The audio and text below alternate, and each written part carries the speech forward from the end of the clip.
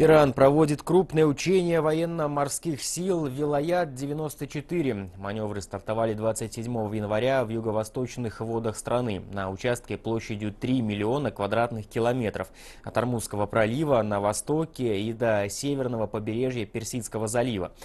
В учениях задействованы скоростные катера и подводная лодка класса «Тарек» а также размещенные на побережье ракетные пусковые установки, узлы связи и мобильные установки ведения радиоэлектронной борьбы.